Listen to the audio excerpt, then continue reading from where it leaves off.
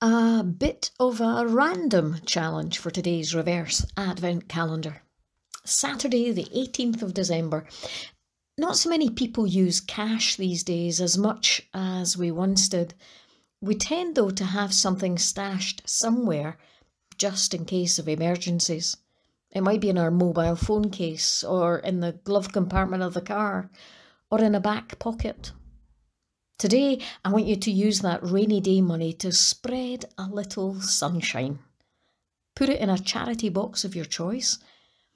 Or, if you are someone who does use money, then the loose change that you throw in a bowl, can you put that back in your pocket and drop it in a charity box? Because every little helps.